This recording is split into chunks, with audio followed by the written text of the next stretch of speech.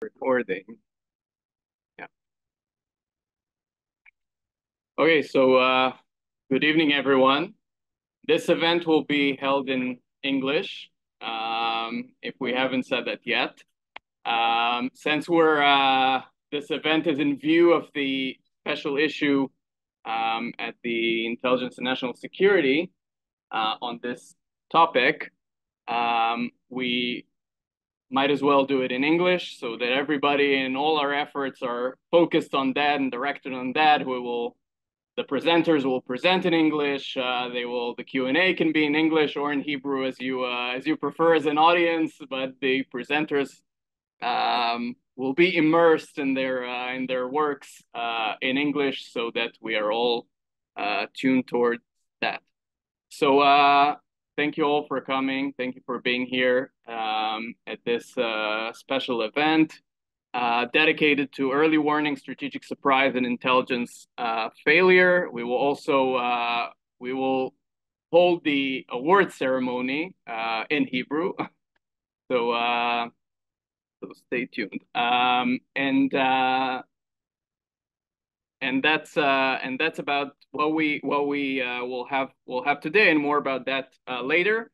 I will just as I uh, as I always do, I will. Um, so that's it. No more batteries, I guess. Okay. Or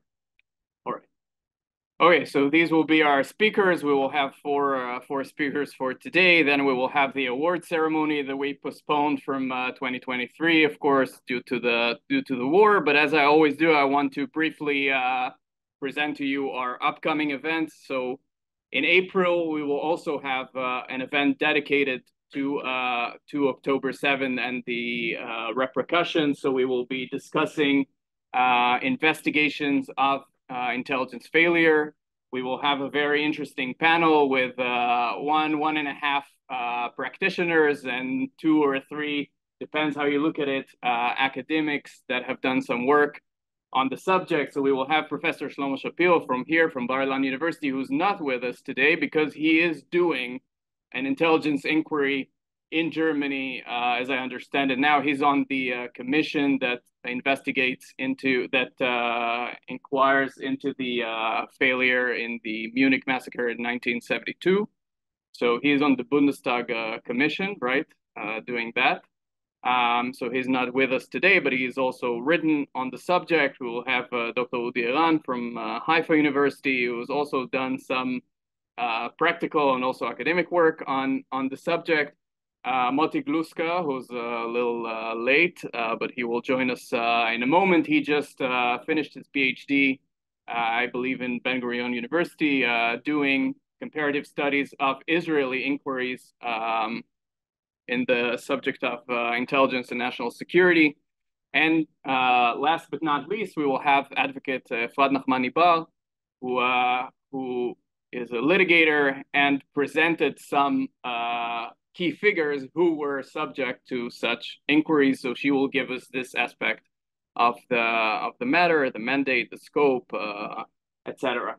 Uh, I will jump uh, a little bit into the future. The May event of our forum is not yet uh, determined, but in uh, June we will have the annual conference of the Israeli Association for International Studies it was uh it was our first time and it was i think uh, to my opinion it was a it was a success last year. This year uh, it's even a bigger success because we had uh, about 15 or 16 submissions to the to the conference which means that we will have about three panels uh, on intelligence studies at this uh, particular uh, local conference and on top of that, we have organized a roundtable uh, to discuss the root causes of the October 7th uh, intelligence failure.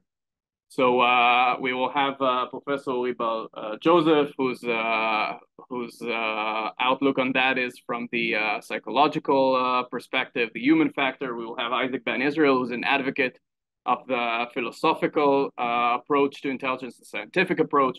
We will have Ayelet Ariel Shalev from uh, Ben Gurion University, who's uh, who's a lecturer on um, gender and security, and we'll have Sagi Polka, who's an advocate of the humanist uh, perspective, the humanist approach to to intelligence, learning the enemy, knowing the enemy, culturally, uh, linguistically, etc. So this is uh, also going to be a very interesting uh, panel that we will have then.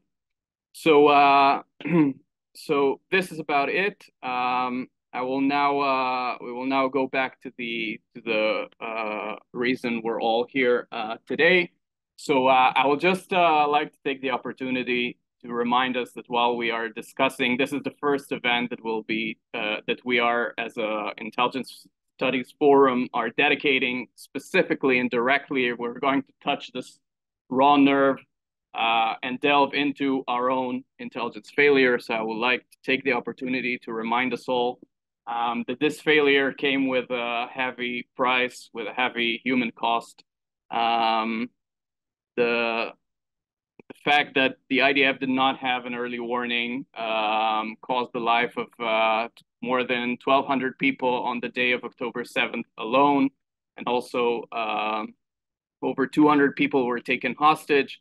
Still over 130 are uh, are in captivity uh, undergoing things that uh, that we uh, we don't wish to even imagine. Um, so we, and so I'd like to take the opportunity, I guess, uh, in uh, in all of ours behalf, to say that we want them released now.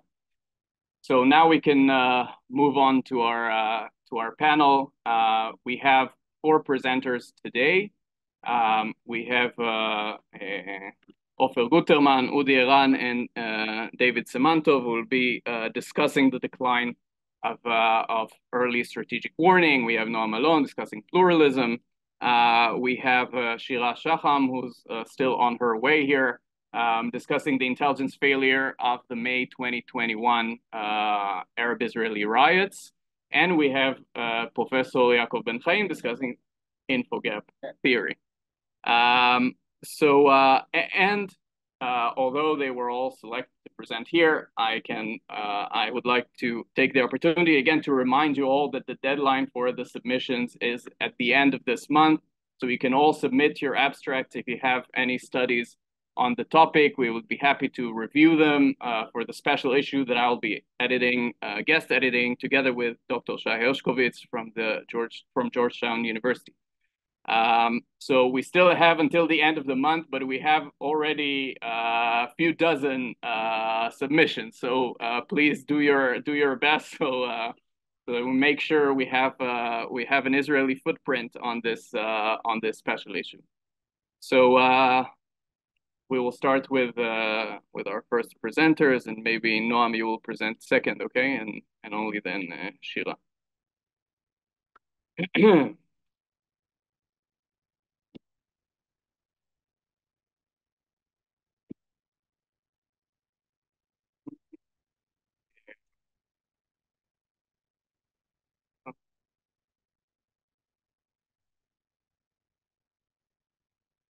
Ortada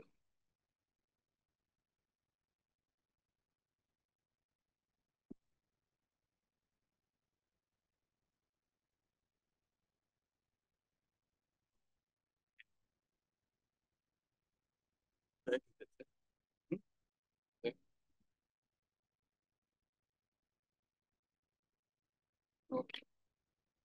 So, um,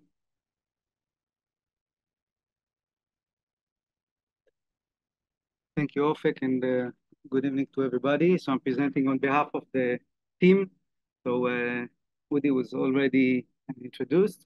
Also a member in our institute, in the Institute for the Research of Methodology of Intelligence. And uh, also uh, David Udi Siman Tov, Deputy Head of our Institute.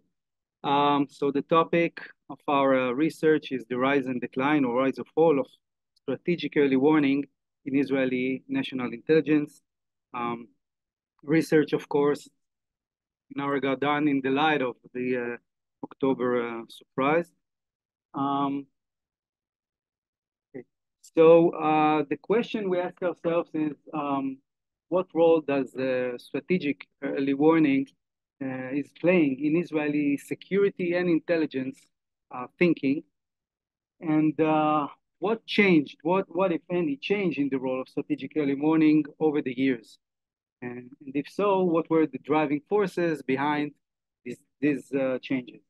And um, the way we structure our uh, research or research proposal is first, of course, by starting with some uh, conceptual uh, framing of the matter, uh, talking about uh, early warning theories, definitions and ter terminologies, and also we would like to touch the subject of change in intelligence organizations and change in priorities, because um, our hypothesis is that um, the, the, the role, the big role that the strategic early warning played in Israeli intelligence has changed uh, and quite dramatically over the years.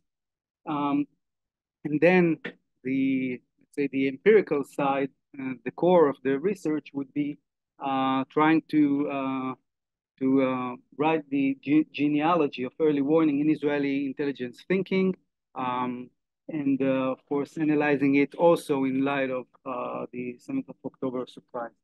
Um, regarding resource and methods, then we um, we will of course base uh, the literature on open historical and theoretical uh, materials.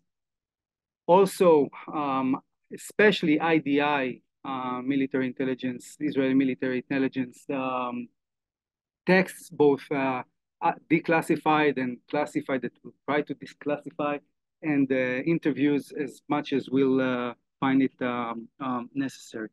So um, before we delve into our hypothesis regarding the the, uh, the genealogy, um, a, a, quick um, reminder, or at least the way we see uh, strategic early warning.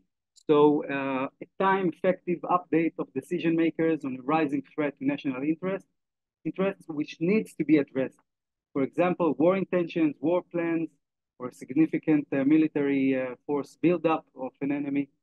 Um, and intelligence in the strategic early warning is not supposed to predict the exact timing of the realization of the threat, but rather to arise decision makers to take action to mitigate the, the threat. And basically, I'm rushing in the line of uh, 10 minutes. Um, this is our hypothesis of the four uh, stages, main stages of, uh, of, uh, uh, of uh, strategic early warning in Israeli defense, in Israeli intelligence. So um, in the 50s and 60s, we saw the formulation of, of the strategy and of the strategic early warning. Then uh, the next two decades, 70s and 80s, the, the, the rise, gradual rise of uh, early warning. And then since the 19s, what we are saying is that we see a gradual decrease, gradual uh, degradation of the place of uh, strategic early warning in intelligence thinking in Israel um, until of course, uh, and, and what we believe is that this is part of the reason of the failure of uh, early warning in uh, in the 7th of October. Um, so briefly, I'll touch um, the main points here. So in the 50s and 60s, um, strategic early warning is uh, a pillar in uh, Ben uh, famous uh, national security concept, which is still relevant uh, to these days. Um, so basically, um, strategic early warning is kind of a, a bridge between uh, between um, deterrence, uh, the concept of deterrence, and the concept of uh, defeat of the enemy. So once uh, the the uh, intelligence is seeing that deterrence is breaking, it's no longer relevant. It needs to rise the flag and say that um, there is a probable an imminent war, or and then uh, the uh, the uh, early warning helps gives the time in order to mobilize the reserves in order to defeat the enemy in a, very decisive and quick uh, manner. And in 1956, we saw uh, the manifestation of, of this in the uh, preemptive Sinai War, in which um, in which uh, we saw that um, uh, intelligence raised the flag regarding the force buildup of the Egyptian army. And so we went into war in order to uh, at least delay the threat. And also in the 1960s, we saw the Rotem incident in which two Egyptian divisions uh, entered into the uh, Sinai Peninsula without the intelligence noticing it. And the lesson learned was that we need to increase our efforts uh, on uh, strategic early warning. Then, of course, in the 70s, in light of the Yom Kippur failure, again, the need, the, the lesson learned was the need to even more increase our efforts on strategic early warning. And then we saw the list of mechanisms put in, in installed in place in order to improve our uh, strategic early warning capabilities. The indicative sign model, uh, eight, uh, unit uh, 8200, recalling itself, reframing itself as the collection and early warning unit, the devil's advocate unit under the head of the IDI, uh, and, and so on and so forth. Now, when we move into the 90s, things are uh, things are are changing because first of all we have uh, and, and, and, as we can see it in the uh, formal um, presentation of the uh, IDF uh, named surprise attack decline. And uh, this was in light of a few factors, a few driving forces, such as, of course, the peace agreement with Egypt, um, so no more war with Egypt. And then we saw the gradual degradation of the Syrian army, so even a less threat over there. Um, and on the other hand, we saw the rise in new enemies, uh, such as Hezbollah and Hamas, uh, so terror organizations.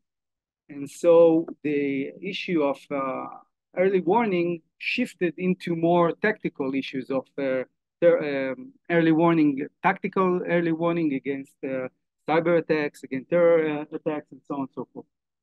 And then lastly, we see uh, in the, uh, you think of it maybe around 2012, uh, 2000, something like that, since the Arab Spring. So this gave the notion, the, the notion that no more war, the, the, the conventional big uh, conventional military wars it's a thing of the past. Um, and uh, also at the same time we saw the rise in the capabilities of Israeli defense. So Iron Dome uh, and also big fences and so on and so forth. So you have the notion that there is no big threat of uh, of uh, um, conventional war because of those two driving forces. Um, and also, on the other hand, we saw a rise in the technological capabilities of intelligence um, and the rise in the amounts of uh, good uh, intelligence, good uh, the big data in intelligence, and also the rise in the need for intelligence to commit itself to operational and tactical missions. Uh, so, for example, uh, cyber attacks, and the targeting and the campaign between the wars and so on and so forth. Um, so, it, so all of those driving forces shifted the, I would say, the north star of the intelligence of Israeli intelligence um, from uh, strategic early warning as a, as a north uh, north star that that guides. Uh, this is the paradigm in which all the intelligence apparatus is working uh, into intelligence supremacy, in which strategic early warning has become just one of many other uh, missions, uh, not uh, even the most uh, important of them. And lastly, um, slide. Um, so um, this is the shift we're talking about, and and and if we're maybe trying to think ahead, then uh, what would be the future of strategic early warning in Israeli intelligence? Then of course it has to do with the, the way intelligence will uh, try to explain to itself the, the, the different tensions it will uh, find itself because on the one hand we have uh, we have seen the disastrous effect of lacking early warning but on the other hand we saw yet again the disastrous effect of relying on early warning. So perhaps there is a place for re-examining the place of early warning in our in Israeli national uh, security uh, concept and strategy. And of course, there will be the tension between the rising needs for and for uh, and requirements uh, for resources to do strategic early warning the best the best we can. But on the other hand, all the other new missions of the intelligence um, and their requirements uh, won't uh, won't go away. So um, this is how um, some, some of the tensions that the Israeli intelligence will have to uh, ponder for itself. And um, lastly, I would just uh, say that we will, it, it's in the beginning of our research, and so we will be very happy to hear your remarks regarding the periodization, regarding uh, the driving forces, if we meet something, if you think differently, and also if you know from the literature relevant, relevant themes in the literature regarding deterrence, uh, sorry, uh, early warning that we can relate to uh, in the context of our research. Thank you very much.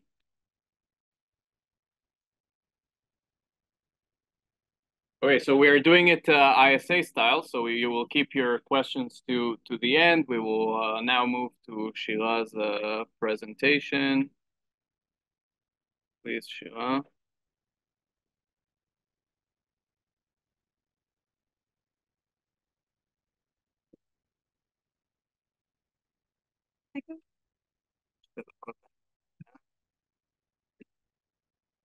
בבקשה. בוא נראה. בזום שומעים אותנו טוב?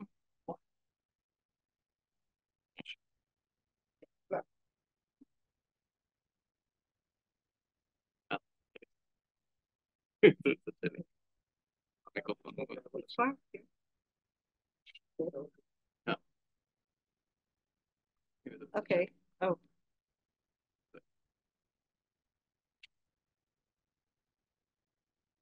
Okay. So thank you, everyone. So I'm going to explore now the um, uh, part of the strategic surprise in May 2021 uh, turmoil in Israeli mixed cities. Um, before diving in, I just want to say that this uh, part is um, part of a wider research that I um, did about prevention and mitigation of civil violence, that the Shomer Chomot event was a case study in it.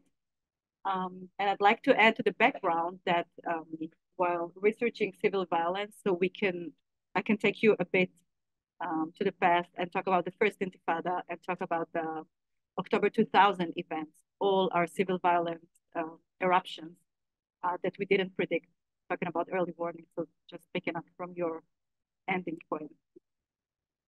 So where's the slide? Nico? Ah, okay. Okay.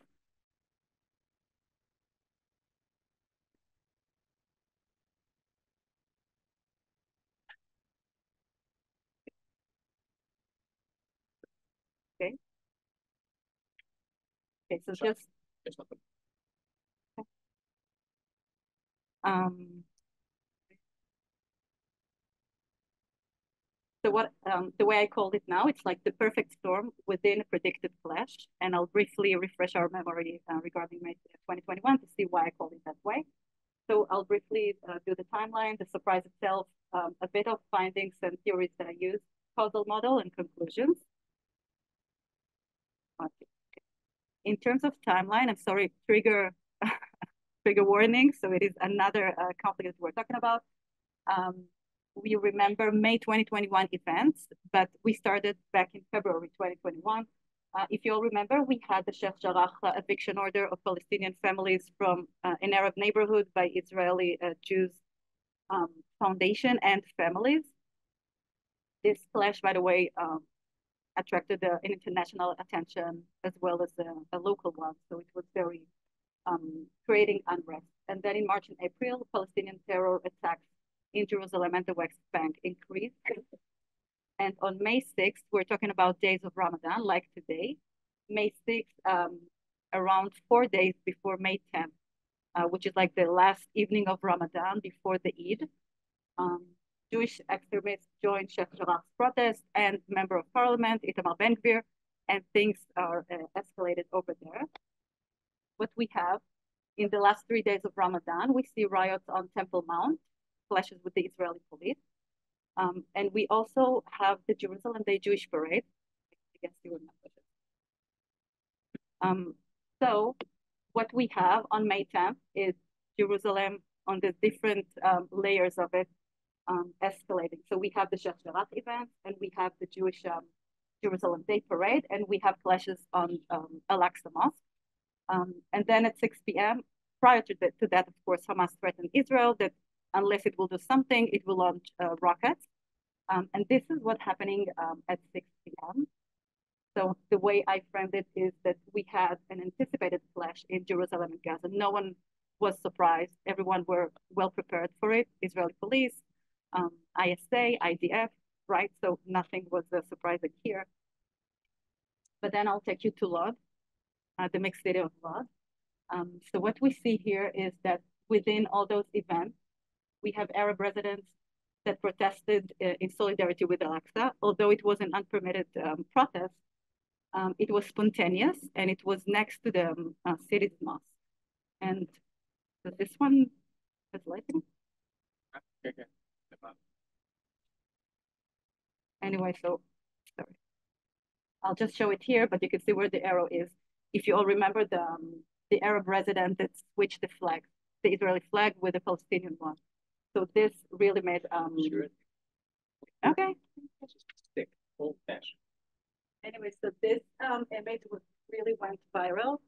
Um, and Lod was um, unresting during that evening. Um, we have a Jewish armed resident.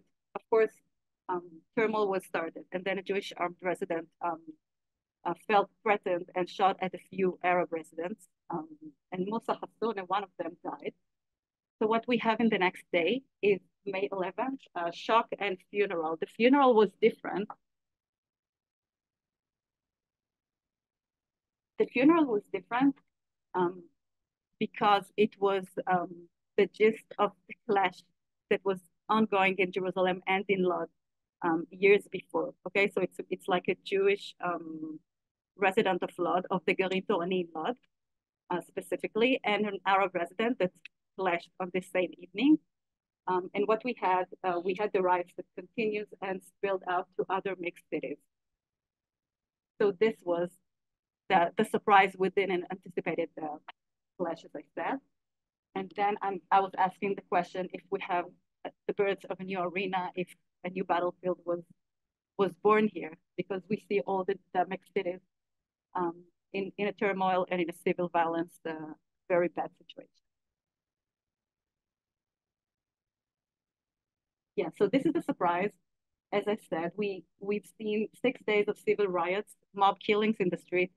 Uh, three residents, Israeli residents, were killed by other residents. This is very um, unique and extreme.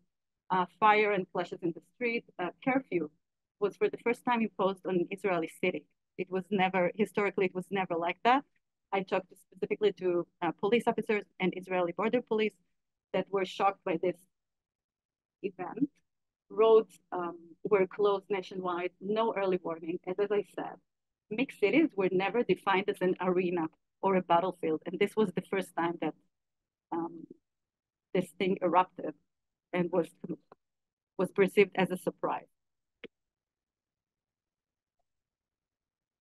So the root cause anal analysis, I'm not gonna dive into it. I'll just say that it, I, I took this kind of um, pyramid um, shape um, to divide the causes to deep-seated causes, immediate causes, and a spark, a trigger.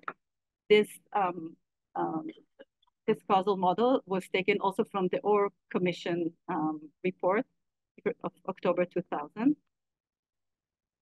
It's a qualitative methodology. Yeah, and main findings uh, as I said, were divided to all these three layers, but also in the national level, local level, and community level. Uh, so what we see is local housing crisis um, that echoed similar case. So um, the eviction order and the problems in Sheikh Jarrah actually echoed similar cases of housing crisis within the city of Lod. So people over there, while, while they went to protest during uh, May 10th night, they felt and they knew that something that what's going on in Sheikh Jarrah is actually echoing something that they are suffering from. Um, horizontal inequalities, all participants, Jews, Arabs, um, NGOs, security experts, everyone pinpointed the fact that social inequalities are main issue in Lod in mixed cities. Um, and this was, as I said, expressed uh, and explained by everyone. In terms of um, socioeconomic and gentrification components. So kind of like in research, um, the ideological gentrification that we see in mixed cities was a big part of the tension that they suffer from. So they played a central role in the event. And all of us, I mean, and participants and also the, the literature show that um, triggers or sparks are random and inevitable. We can't really control them. So therefore, we have to look at these kind of causes, the immediate causes and the deep-seated causes in order to try and pinpoint the reasons, the factors, um, and, and, and afterwards, ways to prevent or mitigate such violence. So after everything, I put everything in this causal model, but I'm not gonna walk through it. Um, the main theories um, that I use are two. The, the only one that I'm gonna explain here is Ted Gurr theory, the relative deprivation one over here. And I want to read this.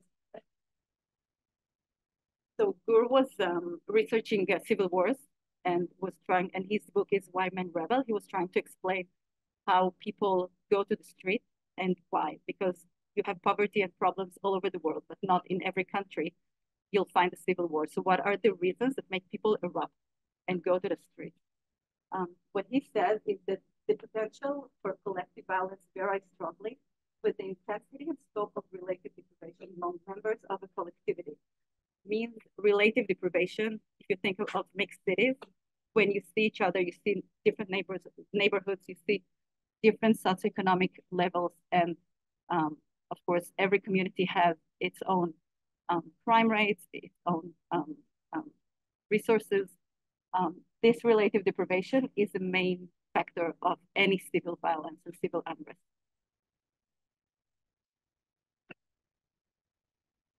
So what you've seen before in the in the pyramid, I just put it like that.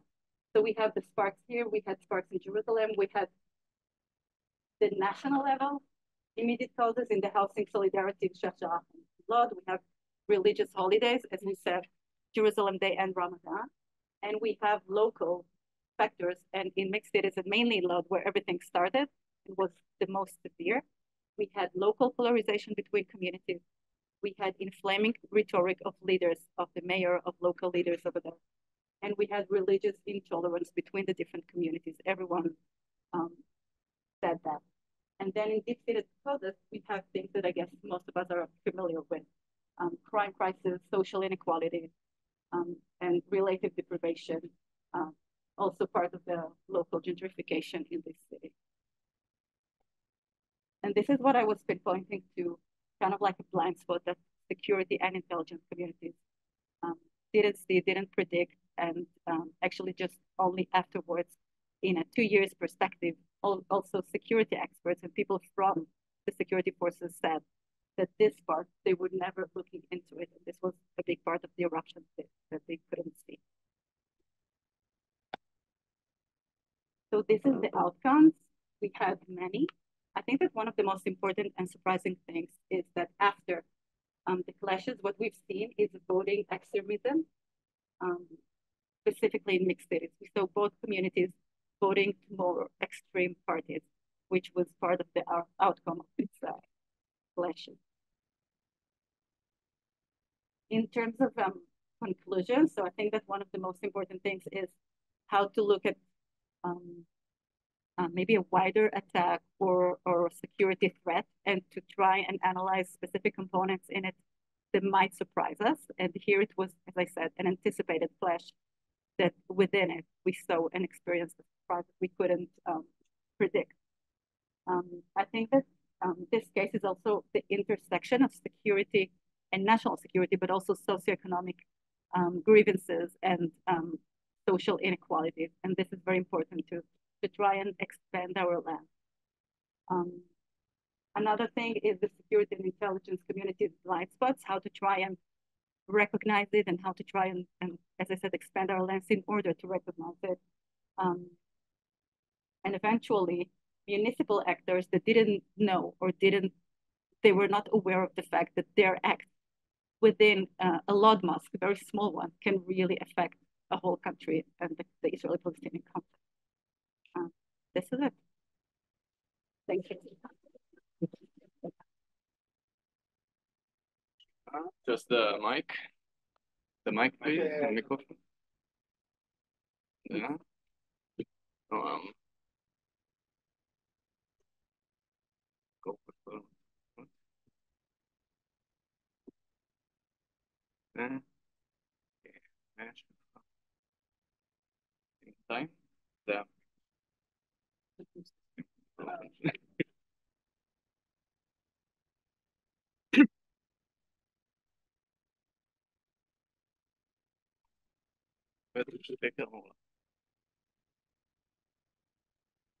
Okay, thank you for having me here. And um, it's a work in progress. Uh, it's about um, concept of pluralism, Israel and other uh, intelligent community. But the most surprising thing I found is that it's very much endemic to Israel. No one else used this term. And there are quite uh, other communities quite um, against this uh, this term. So uh, this is mainly a conceptual framework. So it's well, it starts in uh, as uh, most of you know in Agranat that uh, thought of the pluralism as a concept, as um, uh, conceptual terms that will organize the intelligent community uh, and some kind of uh, um, magic solution for all the trouble of, of not knowing things. What they thought that you can see here that if you will organize it, that if you organize the intelligent community by um, divided dividing the uh, community to their part, and let each one of them to search to search alone. Uh, eventually, somehow it will come to a competition, and uh, the answer will be uh, presented to the uh, to the decision makers, and he will choose the best uh, theory uh, that that you that you have, and uh, of course it's not it's not just the Agranat. The Agranat was uh, a little bit earlier with the Yadin uh, committee that um, stayed quite the same, and you can see along the, the years that there were other committees that suggested quite the same idea. As you can see, there are differences, but the main idea is that uh, each organization and each level should uh, investigate in itself uh, the material and to present by itself to uh, the decision makers. And somehow there will be a competition of ideas uh, on the table of the decision makers and the decision makers will be able to choose uh, I don't no one asked how we can choose the right one, but this is how it goes. Uh, uh, you will choose the uh, the thing. So there was some um, discourse about these things between Uri Bar Yosef, Professor Bar Yosef, that suggested a long time ago and uh, suggested it lately that will um, form another uh, level of national uh, intelligence in the uh, near the government. but again, it's not instead, it's not something that organizes the community, but alongside the other organizations. On the other hand, there is um, um, Dr. Meir Finkel that suggested that uh, the um, the pluralism is working well and he saw in, in his article that uh, although there are some uh, surprises uh, around the, the road, there are also clashes of thought and everything work quite well. And he suggested that uh, that the things that didn't work, it because um, it was not the main issue or the main uh, subject of research of the uh, intelligent community, it was a side one. So it's okay to fall in that in that arena, in that uh, subject. But here comes the, the October 7th, and uh, you could, no one can uh, argue that the Palestinian issue is mainly in the heart of uh, the intelligence, the Israeli intelligence community, and no one can argue that this is the most pluralistic arena in the intelligence community, both in the uh, uh, in the uh, organizations and in the levels of research. So it's a problem. Now, when we go to um, to search, there is a um, discomfort of this idea along the road. Some of us, uh, some of them here, but uh, um, mainly the main issue is that the um, is the the things that need to be discussed. Um, organization needs to be discussed their idea in order to to go to the, the decision maker with a unified idea or um, unified know-how about the differences. This is the, the, mainly the, the subject. Um, and now when, when you're going to the other communities, there is no pluralism uh, in there. Uh, after the 9-11 in the, in, in the US uh, uh, intelligence, they formed the DNI. And as you can see, they are against pluralism. They want integrated community and not just uh, that the data will flow, but the, the idea is that there is someone to manage the community, to manage the um, the flow of intelligence and the uh, main main things they have to do, uh, and also they um, uh, they form the um, the um, how you say that um, the integrated uh, uh, the integrated mechanism of things inside.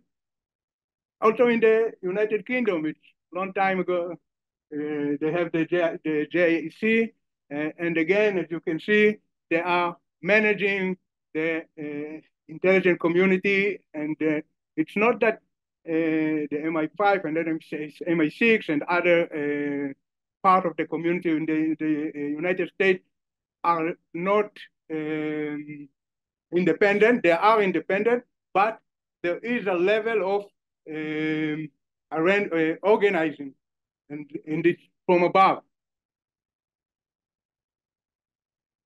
So it, uh, we need to go to the term itself. So what Israel, of course, go to the, the, the first part of the multi, uh, uh, multiplicity of the idea that there is a coexistence, there, there should be a coexistence of ideas uh, and organization.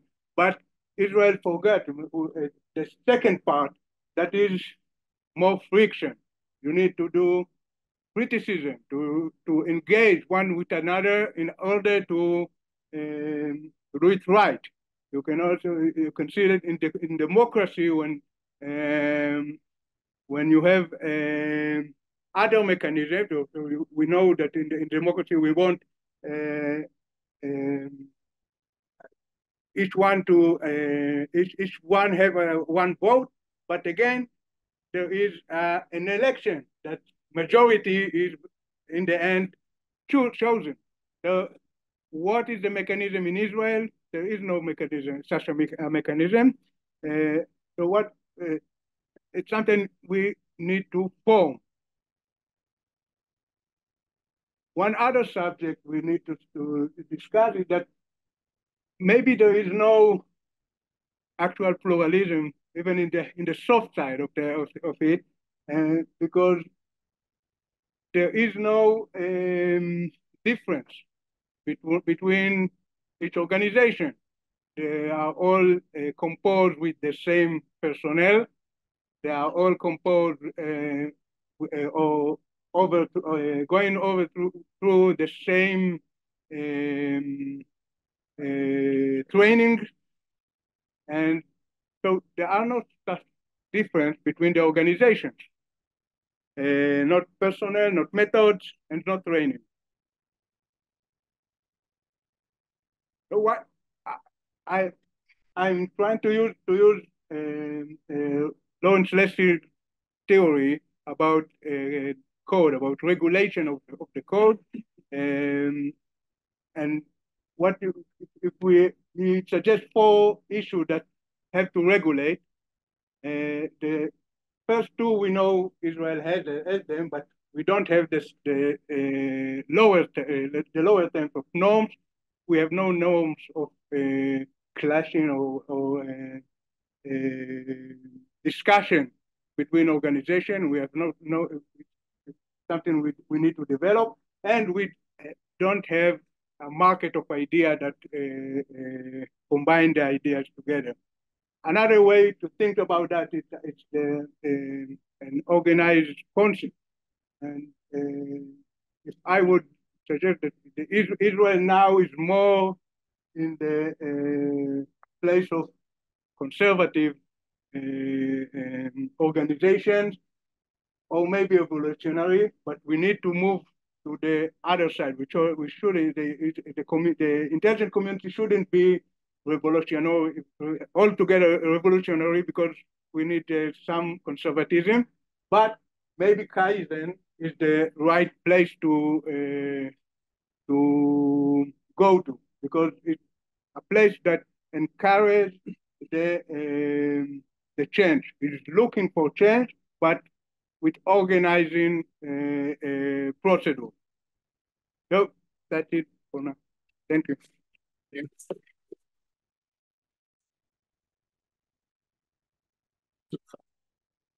No, I so.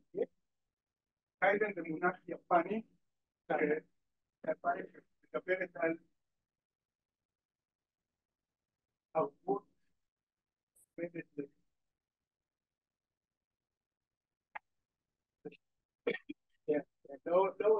אפשר לעשות איך אני אקדם את ה... לא, נראה לי שהוא לקח את ה... נועם, לקחת את הקליקר? לא, הנה הוא... אה. רק רוצה שתראה את ה... let's say, um, say, רגע. Okay.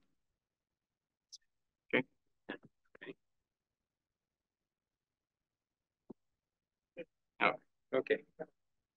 Now, I, I didn't know I was going to have to talk in English, but I, I think I, I, I will try my best. uh, so my name is Yaakov from the Technion, and I want to talk about the dilemmas of robustness opportuneness, and informativeness in and implications for intelligence analysis. And I'm going to do it standing on one foot. Um, so my talk is, the emphasis is methodological. Uh, the first point is that um, intelligence analysts use evidence to um, formulate assertions that are informative and reliable. They also need to be relevant, but I'm going to ignore the relevance problem. Um, and by reliability, what I mean is that only large changes in the evidence would uh, significantly alter the informativeness. It's reliable if only large changes in the evidence would cause the informativeness of the assertion that I'm going to pass on to my boss and to fall below a required level. And I'm going to be talking in the context of infogap theory, um, which is my baby, as you will find out. And in infogap theory, reliability is expressed by robustness. And I'll tell you what I mean by that. And my first claim is that the informativeness of an assertion trades off against its reliability. The more informative the assertion, the less reliable it is. And the more reliable it is, the less informative it is. And I will try and make that a little bit plausible in my paper, it's stated as a formal proof with, you know, the usual fine print of proofs. Um, so I, I, my claim is that it's uh, quite generic. And this creates a dilemma for the analyst because he wants to be both informative and reliable. And my first claim is that you can't have it all. The more informative, the less reliable. That is my first claim. Um, the, the second claim starts deals with um, the other side of the information coin, and that is that intelligence analysts formulate assertions to pass on to their boss that are informative and opportune to new evidence. Now, what does that mean? Opportuneness of an assertion is the property that small changes in evidence cause the informativeness to become wonderfully greater. An assertion is very opportune to uncertainty in the evidence.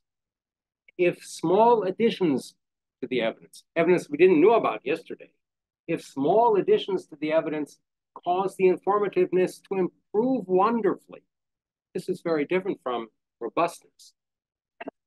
And um, this will be dealt with with the concept of opportuneness in info gap theory. And my second claim is that, oppor, oppor, that informativeness trades off against opportuneness. That is, the more informative the, the assertion is, the less it is able to benefit wonderfully from small increments of uh, evidence. And this creates another dilemma for the uh, intelligence analyst because the analyst wants to formulate assertions. The assertion that I'll look at shortly is China will invade Taiwan in six months.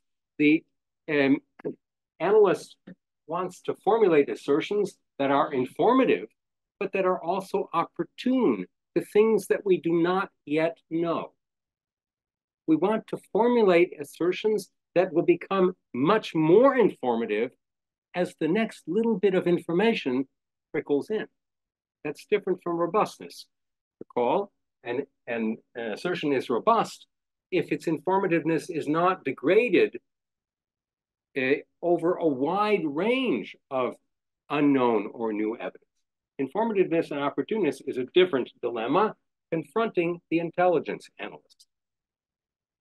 So the analyst faces um, two dilemmas, informativeness versus reliability against unknown future evidence, and informativeness versus opportuneness from unknown future evidence. I think my next slide, yeah. So that my focus is really on uncertainty. Um, in parentheses, I will say I'm not an intelligence person. I was a Kaban Nun Tet in, in the, I don't know how to say that in English. Uh, sorry. Um, I'm not an intelligence person. I'm an uncertainty guy. And the core of what I'm saying here is that uncertainty has profound impact on assertions that intelligence analysts formulate. And it's there are two types of, un, of, un, of impacts. One is the degradation of informativeness due to new evidence that I didn't know about yesterday. And the other is the improvement of informativeness of an assertion due to evidence that I didn't know yesterday. And maybe in a somewhat more abstract level, uncertainty is the core here.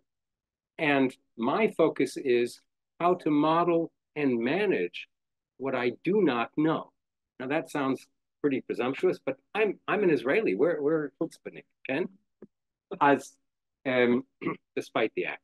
Okay, um, so modeling and managing uncertainty and its impact on assertions that the intelligent analyst will pass on to his boss, and the two different aspects of those uncertainties.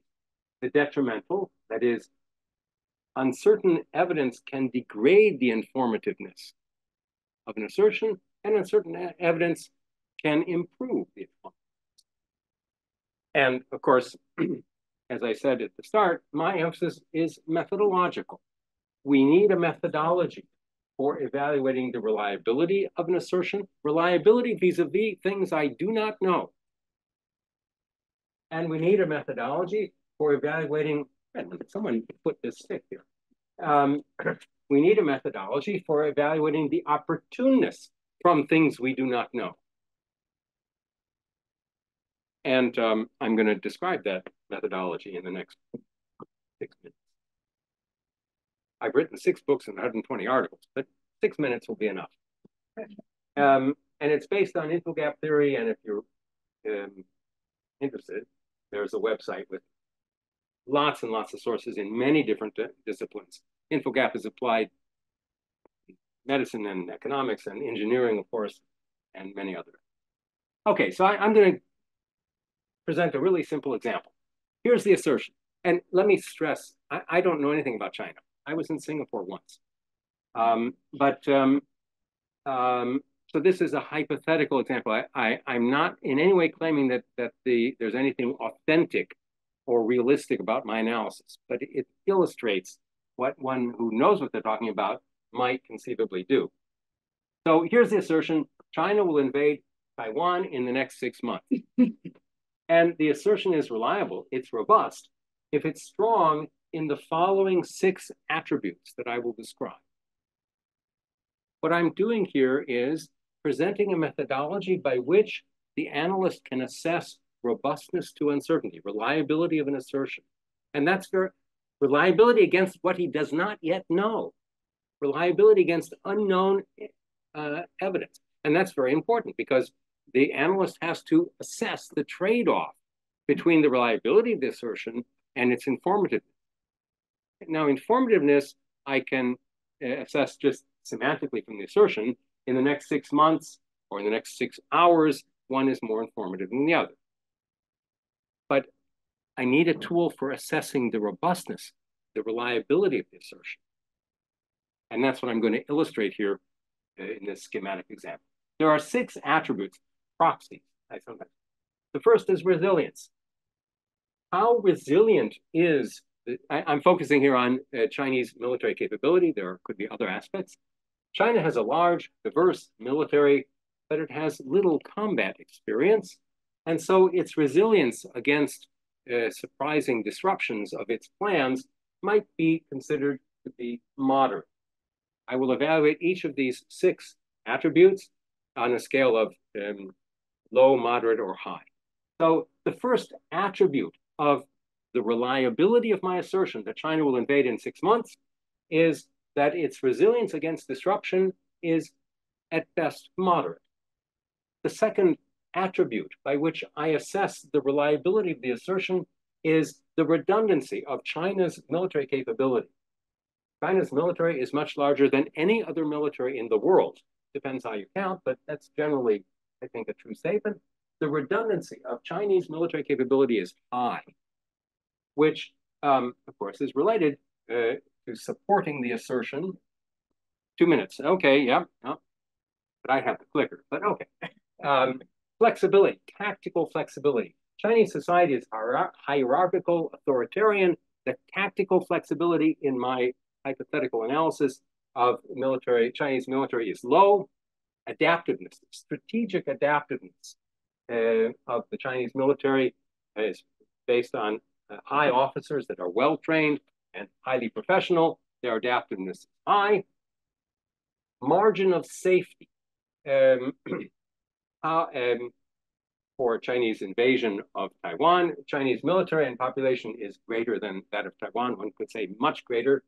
Um, so the margin of safety for an invasion is high comprehensiveness. This is um, everything that's left over, the multidimensional uh, assessment of the situation. Um, there are many military challenges of an invasion. Taiwan is uh, not a little puppy. Uh, there are potential domestic uh, resistance and certainly international challenges. The comprehensiveness of Chinese invasion of Taiwan would be low. So if we sort of uh, semantically average these, I guess, um, it's almost six. Um, if we more or less average them, uh, we would say that the overall assessment of the reliability of this assertion is um, moderate to high.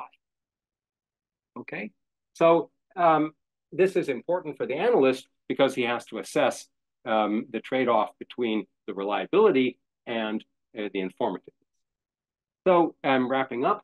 I, I have um, identified uh, two dilemmas facing uh, analysts. One is an irrevocable trade-off between the informativeness of the assertion and its reliability vis-a-vis what I do not yet know.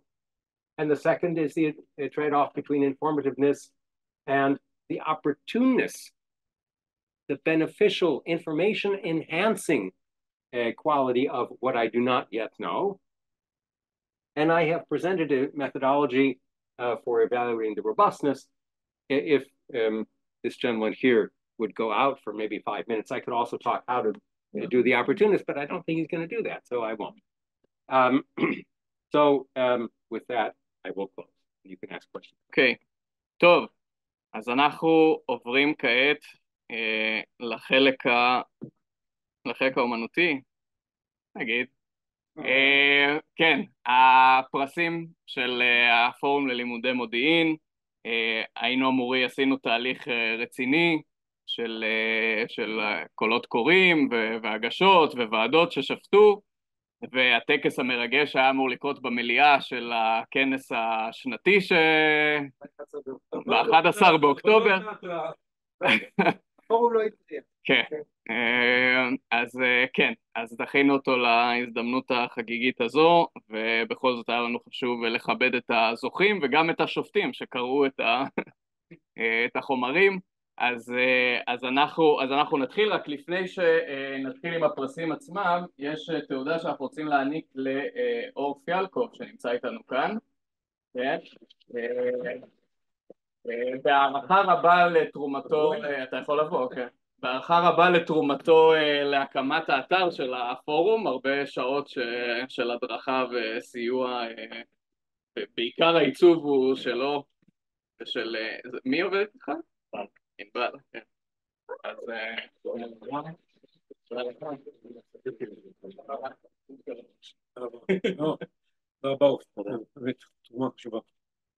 ועכשיו נעבור לפרס הראשון, שהוא לעבודה מחקרית מצטיינת. אודי, בבקשה. ערב טוב, שמי אודי ערן מאוניברסיטת חיפה. את הפרס לעבודת המחקר המצטיין של תלמידי מחקר בחרנו לקרוא על שם תת-אלוף עמוס גלעד, זיכרונו לברכה, עמוס גיבוע, סליחה. יום ארוך, מצטיין. זה גם לא היה מוקלט, אז תעשה שוב. גם חשבתי על זה בדרך שזה... יש פה פוטנציאל, כן, וכמובן לא חשבתי. כן, בדיוק. טוב, ערב טוב, שמי אודי ערן, מאוניברסיטת חיפה. את הפרס לעבודת המחקר המצטיינת של תלמידי מחקר בחרנו לקרוא על שם תת-אלוף עמוס גלבוע, זיכרונו לברכה. עמוס נולד בקריית חיים, שירת כלוחם וכקצין בגולני, למד אחר כך באוניברסיטה העברית ומשם חזר למודיעין, הפך למומחה מוביל, כפי שרבים פה יודעים, לזירה הצפונית, הזירה המזרחית, ושירת כראש חטיבת המחקר בין השנים 1982-1984. בשני העשורים שלאחר מכן הוא נשאר מאוד מעורב בחטיבת המחקר והפך לדמות מובילה בעיצוב המתודולוגיה שלה, כולל כתיבת הספר הירוק, מה שנקרא, של מחקר מודיעיני שיצא נדמה לי כבר בהוצאה שנייה, ובתחילת שנות האלפיים הוא התחיל לכתוב סדרה של, קרא לזה עיונים מתודולוגיים, אבל בעצם נרטיבים היסטוריים של צמתים חשובות בהיסטוריה של, בהתחלה של המודיעין ובהמשך בעצם של ישראל, כולל הנסיגה מלבנון, ולבסוף הוא כתב ספר גדול בהוצאת ידיעות אחרונות עם המרכז, את הביוגרפיה של אהרון יריב, מראשי המיתולוגים.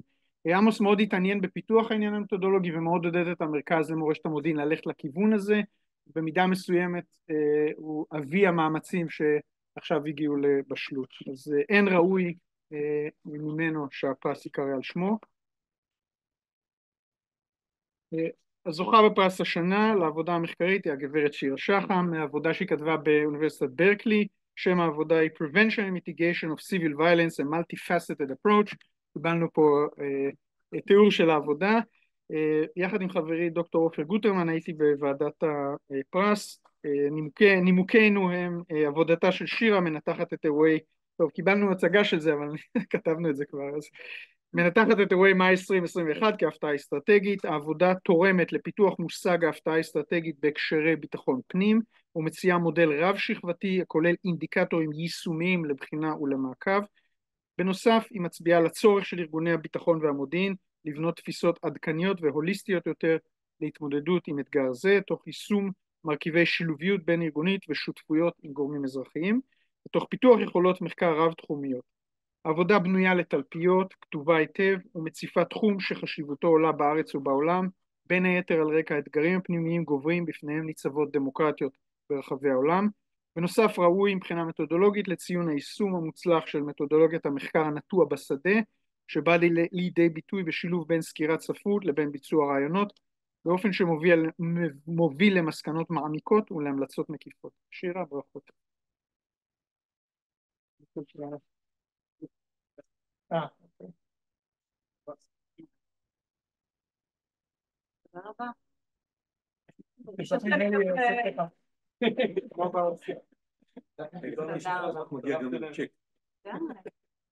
טוב, אני אגיד רק מילה אחת שראיתי פה על הכוס. כן, שזה יפה, אבל אני מאוד חושבת שאני ככה יצאתי מהשירות, ממש, יצאתי מהשירות ב-22 אחרי, והייתי נרעשת משומר חומות, והרגשתי שיש שם משהו, באמת החתיכה החסרה הזאת, והרגשתי שאני צריכה לנסוע עד הפסיפיק כדי לראות מה קורה בלוד רמלה ובישראלי, בקונפליקט הישראלי-פלסטיני. אז לפעמים להרחיק זה טוב, ותודה רבה על ההכרה. יש לך כוח לחזור לנו. Thank you very much, guys. תודה.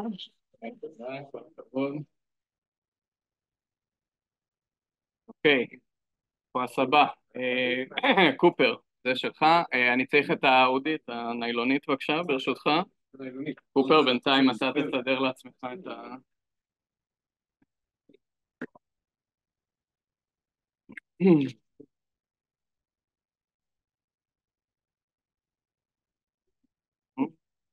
זה?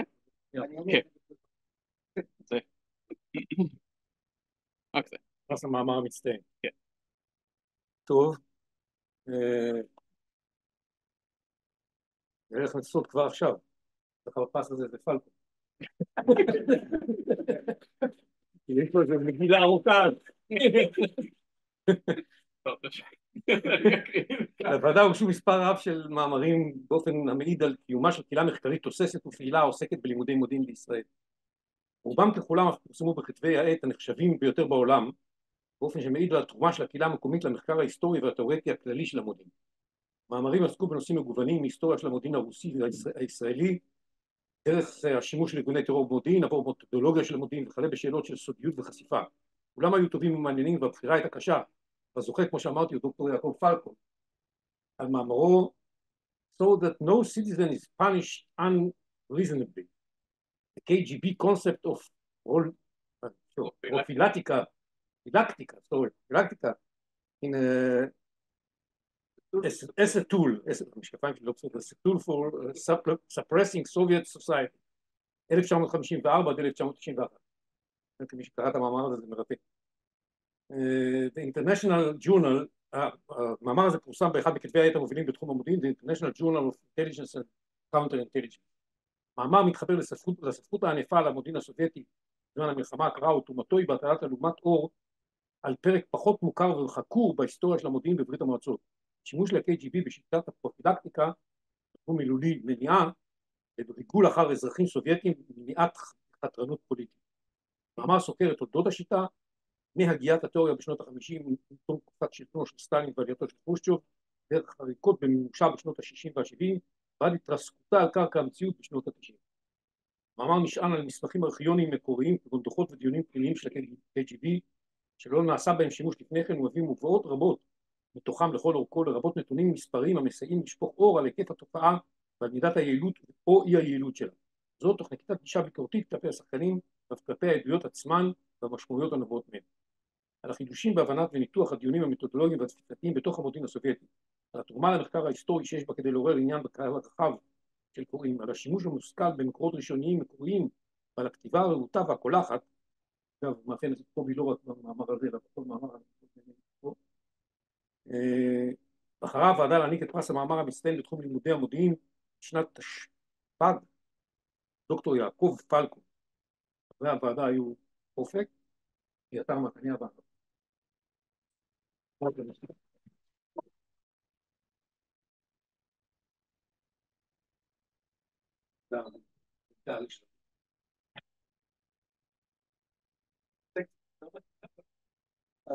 לא, לא, בגלל האותיות. אולי כדאי שהם יצאו מה... איך אני אקח כאן? תעשי קונטרול בי. אה, שיפט בי. אוקיי. זהו, אם אתה גם רוצה לומר משהו, רק תיקח. שתי מילים. רק תיקח את ה... אה, המיקרופון. אתה יכול להחזיק. אז קודם כל המון תודה, באמת מרגש, כבוד גדול. זה הפרס הראשון שלי פה בפורום המגוון הזה, ואני שמח שאתה וזה מאוד רלוונטי המאמר הזה, אני חושב קודם כל היום לגבי מה שקורה ברוסיה, וגם במקומות נוספים לעשות את זה, מישהו באיראן למשל, באיראן, אז יוכלו גם אולי... פרופילקטיקה בפרסית. כן, אני רואה שם בסוף בסיכום שזה כדבר תקף מאוד כל מיני חברות לעשות את זה. וזהו, ואפרופו מזכירוב ככה, אז יש עוד אחד בדרך, כולי תקווה שזה עכשיו, אשמח להגיד. המון תודה.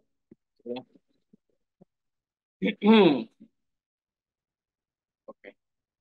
פרקש. להציג את הפרס. כן.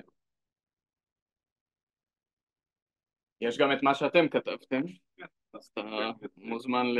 ידעתי שאני אאלץ... אוקיי. והרמקול.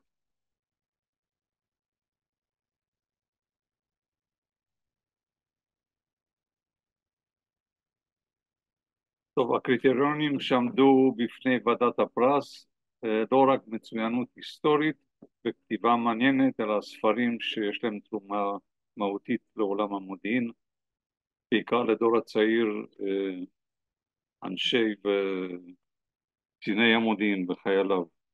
הספר שזכה זה חכה, יצחק חופי מהפלמ"ח לראשות המוסד. כתב אותו אבנר שור ואבירם הלוי. אני הכרתי את אבירם, מכיר אותו הרבה שנים ולא הערכתי את כושר הכתיבה שלו כפי ש... הוא כותב, אה, אתה מספר, והוא כותב. אוקיי. אז הספר של שור והלוי בוחן אדם שהשפעתו הצבאית והמודיעינית על מדינת ישראל לא נבחנה פה, זה ספר חדשני פורץ דרך. חכה באמת איש צנוע, הלוואי וקציני מודיעין כאלה יהיו לנו דוגמה ומופת, זה לא כתוב פה, זה אני אומר, הוא לא כתב אוטוביוגרפיה ולעיתים היה ביקורתי כלפי אנשי מודיעין שלקו בחטא הכתיבה חכה הביע את חותמו גם כצרכן מודיעין ובמיוחד בתפקיד כאלוף פיקוד צפון לפני ובמהלך מלחמת יום הכיפורים כיצרן מודיעין וכאופרטור. בעיקר הוא הביא את זה לידי ביטוי בתפקיד שלו כראש המוסד. אין ספק שטראומת המלחמה השפיעה על הראייה המודיעינית שלו, על העשייה ועל ההתראה המוקדמת. בטיפול בנושא האיום הבלתי קונבנציונלי של מדינת ישראל כשהוא נתן דגש מאוד מרכזי לתוכנית הגרעין העיראקית או האיראני. ספרם, אבל זה, זה יצר דפוסי פעולה מבצעיים ומודיעיניים ואיסופיים במעגל שני ויש איזו משמעות אדירה באשר ליכולות שלנו אחר כך לפעול גם במעגל השלישי. הטיפול בנושא האיום הבלתי קונבנציונלי על מדינת ישראל בדגש על תוכנית הגרעין העיראקית הוא זה שהביא אותנו לאחר מכן לשלבים מבצעיים מאוד משמעותיים. הספר של שור והלוי הוא לא רק סיפורו של אדם מיוחד, מצביא, איש מודיעין, אלא מביא לנו לקחים ותובנות על עיקרי העשייה המודיעינית ברמה הלאומית, הטלת ספק, שאלות נכונות, אמון ביכולות ועוד יותר מזה באנשים, לקיחת סיכונים ופתיחות כלפי דעות אחרות. ספר זה ראוי שיקרא על ידי קציני וקצינות המודיעין הצעירים כחלק מההכשרה שלהם. הספר הזוכה בציון לשבח... תן רגע, ניתן להם את הפרס. כן, ניתן את הפרס. אוקיי. ואבנר ובירם, בבקשה.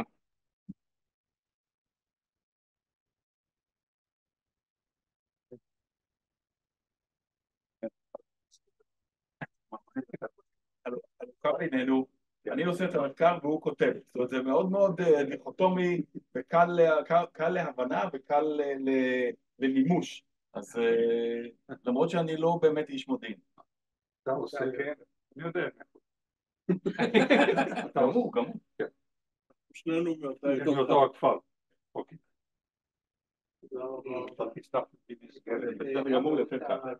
תודה רבה.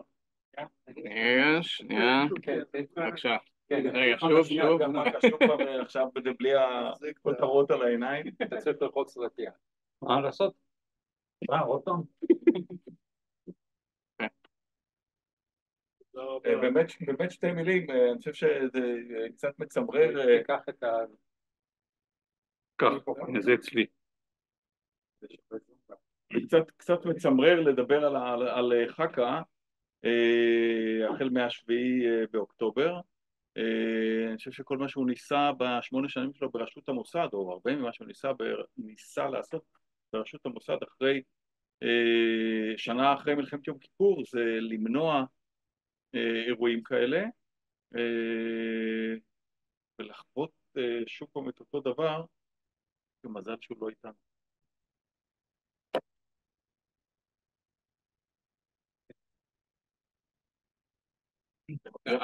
זה לא. זה לשנינו? זה לשניכם, תסתכלו. צריך, זה מבחן לחברות. אני ממשיך. עוד שנה.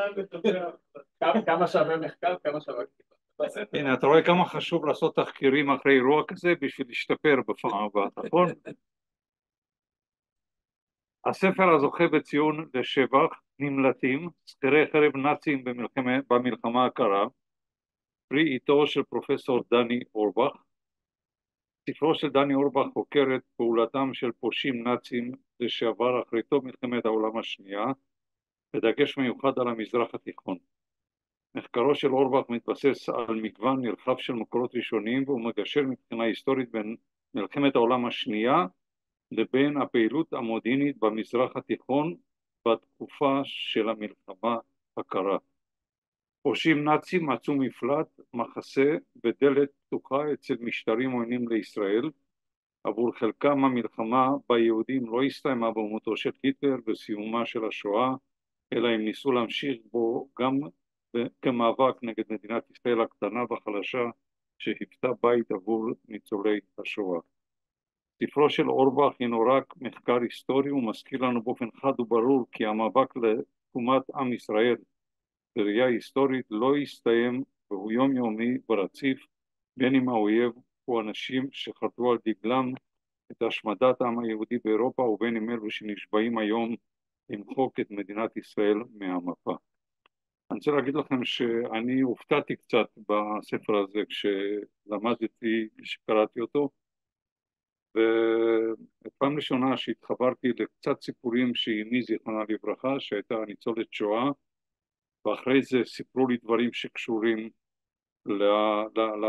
לפושעים נאצים ואלה שמצאו מפלט וכולי אז זה מאוד ריגש לראות שחוקרים דבר כזה ומביאים את זה לידיעה, אני חושב שזה ספר שאפשר ללמוד אותו הרבה גם לגבי מאבק בטרור ומאבק נגד מיעוטים או מיעוטים נגד שלטון, אני חושב שיש בו הרבה דברים שאפשר ללמוד מהם, מה קורה איתם אחרי זה, נראה לי סיפור מאוד מעניין.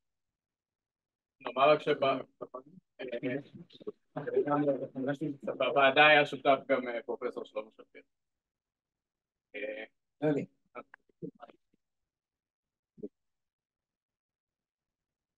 דני, אז אני אלחץ אותך את היד עוד פעם. הוא הזכיר לי שלחצת את היד כשהוא היה רב"ט. תודה רבה. המעטפה. יראה כמה... כן,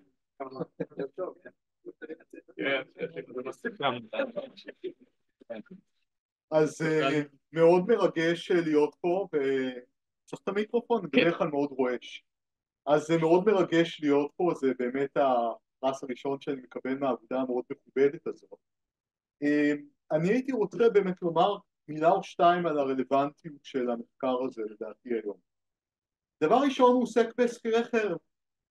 אנשים שהם גורמי אלימות פרטיים, הרפתקנים, ועם החשיבות של וגנר וכוחות חצי ממשלתיים, לא ממשלתיים דומים, ולהבדיל גם החשיבות של אנשי עסקים פרטיים כמו אילון מאסק במלחמות ומערכות היום, הנושא הזה של הרפתקנות צבאית ומודיעינית ואלימות פרטית הוא נושא מאוד חשוב שצריך ללמוד אותו. הדבר השני זה הנאצים שפרקש הזכיר.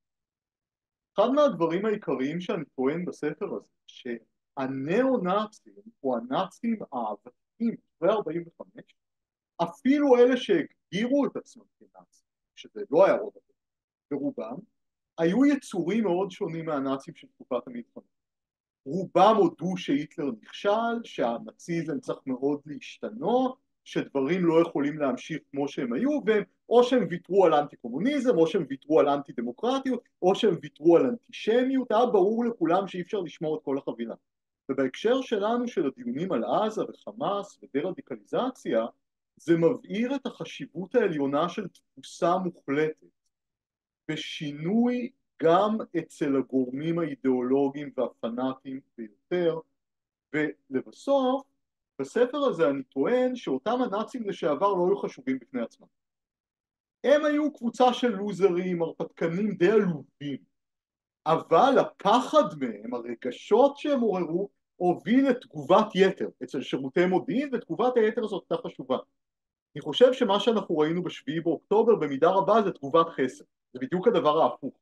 זה הנחה של איך שהעיתונאי גדעון לוי פעם קרא לחמה צבא היחפני מעזה. הם לא רציניים, מה אתם מתעללים בהם, זה מין קבוצה של לא יוצלחים ש... ואנחנו ראינו מה קרה. אז הערכת יתר והערכת חסר, יותר מדי פחד, אבל גם פחות מדי פחד, יכול להוביל לאסונות מודיעיניים, זה שלושה מהמסרים שאולי הספר הזה יכול להעביר. עכשיו אני כותב אחרי דבר אקטואלי בשביל התרגום היפני וגם בשביל הפייפר באנגלי, אז אני אנסה להדגיש את כל הדברים. תודה.